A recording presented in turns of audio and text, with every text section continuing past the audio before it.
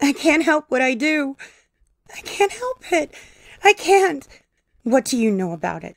Who are you anyway? Who are you? Criminals? Are you proud of yourselves? Proud of the breaking safes or cheating at cards? Things you could just as well keep your fingers off. You wouldn't need to do all that if you'd learn a proper trade or if you'd work. If you weren't a bunch of lazy bastards. But I, I can't help myself. I have no control over this, this evil thing inside of me. The fire, the voices, the torment. It's there all the time, driving me out to wander the streets, following me silently. But I can feel it there. It's me, pursuing myself. I want to escape, to escape from myself, but it's impossible. I can't escape. I have to obey it.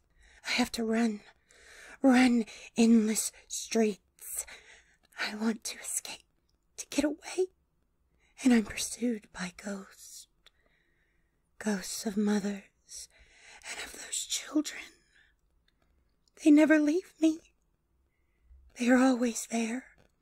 Always, always, always. Except when I do it, when I.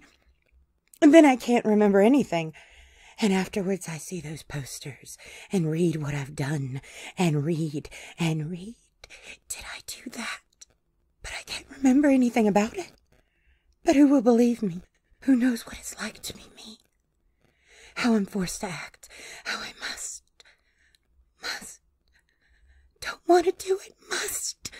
Don't want to, but must. And then a voice screams. I can't bear to hear it. I can't go on. I can't. I can't.